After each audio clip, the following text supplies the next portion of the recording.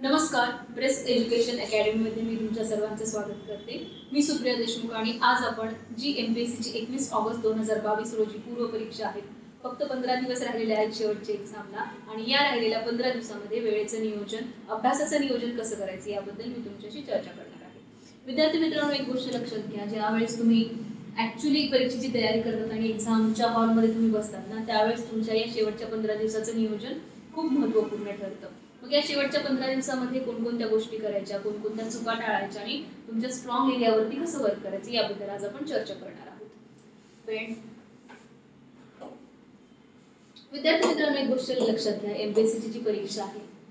पूर्व परीक्षा याला फक्त पंधरा दिवस राहिले. मग या शेवटच्या पंधरा दिवसामध्ये एक गोष्ट आपल्याला करायची आहे की जो तुम्ही वर्षभराचा व्यवस्थितपणे अभ्यास केलेला आहे हाच अभ्यासक्रम तुम्हाला येणाऱ्या पंधरा दिवसामध्ये रिवाईज करायचा आहे. Revision is the key of a success म्हणून नवीन काही गोष्टी मार्केटमध्ये खूप बुक्स आहेत. विद्यार्थी एक तुमचा मित्र किंवा मैत्रीण तुम्हाला म्हणले की हे वाच हे पुस्तकातून एमसीक्यूज येतील. तर असं काही करू नका.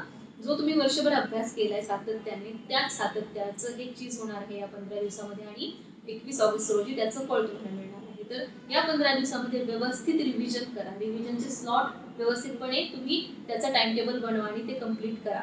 रिव्हिजन करणं हा महत्त्वाचा आता या पंधरा दिवसामध्ये तुम्हाला करायचे आहे. यानंतर तुमचं बायोलॉजिकल क्लॉक जे आहे ते तुम्हाला सेट करावं लागेल. कारण तुम्हाला दोन सकाळच्या स्लॉटमध्ये एक एक्झाम द्यायची आणि दुपारच्या स्लॉटमध्ये तुमचा सीसॅटचा पेपर आहे.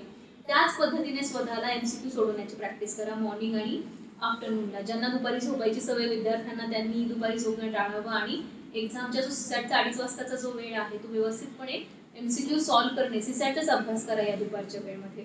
अजून एक महत्त्वाची गोष्ट म्हणजे सीसॅट जरी आता क्वालिफाईंग झालेला असला तरी सीसॅटला या येणाऱ्या पंधरा दिवसांमध्ये तुम्ही व्यवस्थित पूर्ण पूर्वक सीसॅटला पहा रिव्हिजन करा उतारे सोडवा. कारण बऱ्याच वेळा कसं होतं सीसॅट क्वालिफाईंग म्हणून दुर्लक्ष होऊ शकतं.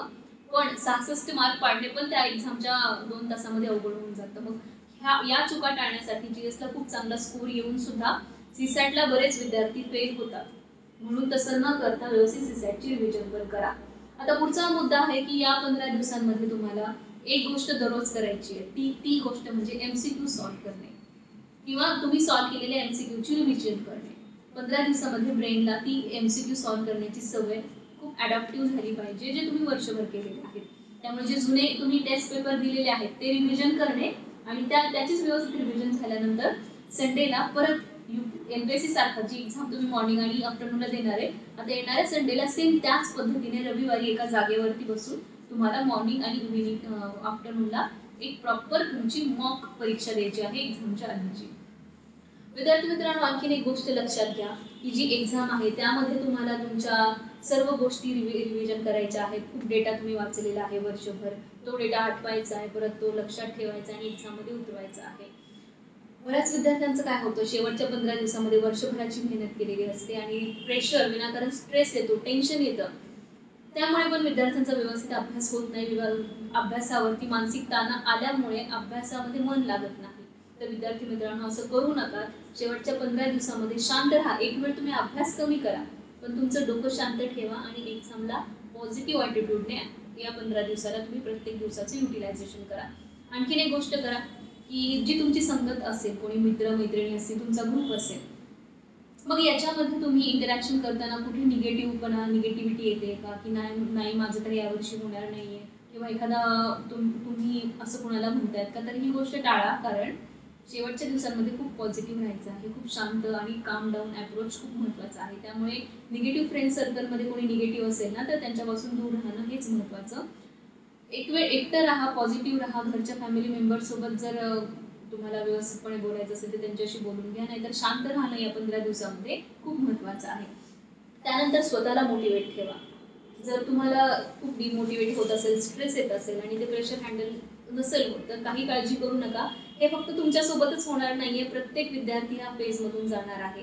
तुम्ही नवीन विद्यार्थी असाल किंवा किंवा यावर्षीचा पहिला अटेम्प असेल किंवा याच्या आधी प्रिलिमची अटेम्प्ट दिलेली असेल फरक पडत नाही. येणारी प्रत्येक परीक्षा ही नवीन असते.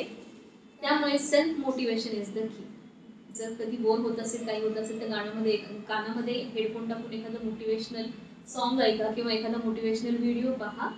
पण स्वतःला मोटिवेट ठेवत राहून पॉझिटिव्ह अप्रोच ठेवून स्वतःच्या वर्षभराच्या मेहनतीवर विश्वास ठेवून तुम्हाला येणाऱ्या परीक्षेला सामोरे जायचं आहे. विद्यार्थी मित्रांनो शेवटच्या पंधरा दिवसाचं टाइम मॅनेजमेंट कसं असावं? तर असं नवीन टाईम रुटीन करण्याची गरज नाही आहे जो तुम्ही वर्षभर तुम्ही टाईम शेड्यूल फॉलो करताय ते शेड्यूल फॉलो करायचे फक्त ज्यांना रात्री जागायची सवय तर त्यांनी तोच शिफ्ट तुम्ही सकाळी अभ्यास करू शकता. एक्झामच्या दृष्टीने जसे सकाळचे मॉर्निंग स्लॉट आणि आफ्टरनून स्लॉट्समध्ये एक्झाम असते त्याच पद्धतीने मॉर्निंगला तुम्ही जी एस करा आणि येणाऱ्या पंधरा दिवसामध्ये सी सॅटकडे पण लक्ष द्या. आणखी सर्वात महत्त्वाची आणि शेवटची गोष्ट म्हणजे विद्यार्थ्यांना कॉन्फिडेंट राहा. स्वतःच्या अभ्यासावर मेहनतीवर विश्वास ठेवा. आणि एक्झामला ध्येयाने सामोरे जा. काही अडचणी असतील कोणत्याही तुम्हाला स्ट्रेस असेल किंवा कोणत्याही एक्झाम रिलेटेड शेवटच्या पंधरा दिवसामध्ये तुम्हाला काही क्वेरीज असतील तरी तुम्ही ब्रेस एज्युकेशन अकॅडमीच्या वेबसाईटला भेट देऊन किंवा कॉन्टॅक्ट नंबरवरती इथं ऑफिसमध्ये कॉल करू शकता आणि तुम्ही तुमच्या कमेंट सेक्शनमध्ये प्रतिक्रिया करू शकता. विद्यार्थी मित्रांनो अभ्यास करा स्वतःवर विश्वास ठेवा आणि स्वतःला एक्झामसाठी प्रिपेअर करा. सर्वांसाठीच एक्झाम आहे सर्व विद्यार्थी या फेजमधून जाणार आहेत. त्यामुळे स्ट्रेस न घेता व्यवस्थित पंधरा दिवसाचं नियोजन केलं तर एक्झाममध्ये सक्सेस तुम्हाला नक्कीच मिळेल. धन्यवाद.